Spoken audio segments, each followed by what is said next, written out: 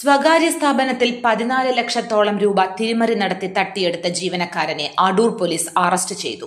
Peringanad Mampara Puthenparambil Minu P Viswanathan നടത്തുന്ന അടൂർ ജോസി പ്ലാസയിലുള്ള Jockey E B O എന്ന സ്ഥാപനത്തിലെ സ്റ്റോർ മാനേജറായി ജോലി ചെയ്യുന്ന റാണി അത്തിക്കയം കുടമുരുട്ടി മാമ്പ്ര കുഴിയിൽ നാൽപ്പതുകാരൻ ജിൻസ് പ്രകാശാണ് പിടിയിലായത്.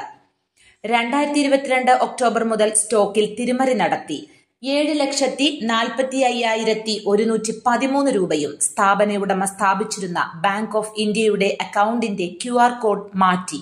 സ്വന്തം അക്കൗണ്ടിലെ ക്യു ആർ കോഡ് സ്ഥാപിച്ച ശേഷം കച്ചവടത്തിൽ നിന്ന് ലഭിച്ച ആറ് ലക്ഷത്തി അൻപത്തി ഒന്നായിരത്തി ഒരുന്നൂറ്റി മുപ്പത് രൂപയും ഉൾപ്പെടെ ആകെ പതിമൂന്ന് ലക്ഷത്തി തൊണ്ണൂറ്റി ആറായിരത്തി ഇരുന്നൂറ്റി നാൽപ്പത്തി മൂന്ന് രൂപയാണ് ജീവനക്കാരൻ തിരിമറി നടത്തി തട്ടിയെടുത്തത്.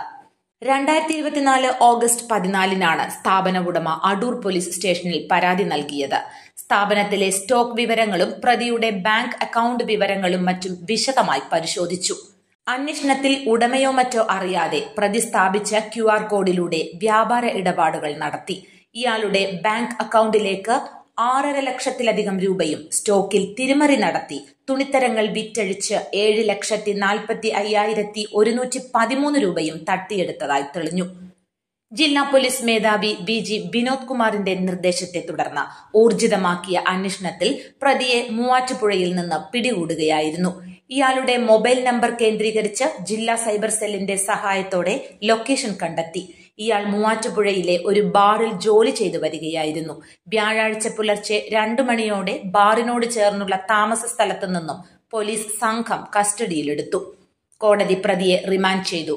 അടൂർ ഡിവൈഎസ്പി ജി സന്തോഷ് കുമാറിന്റെ നേതൃത്വത്തിൽ നടന്ന അന്വേഷണത്തിന് പോലീസ് ഇൻസ്പെക്ടർ ശ്യാം മുരളി നേതൃത്വം നൽകി. അന്വേഷണ സംഘത്തിൽ എസ് ഐമാരായ Balasubramanian Raghunathan Suresh Kumar S S C P O Shyam എന്നിവരാണ് ഉണ്ടായിരുന്നത്. News bureau Adoor.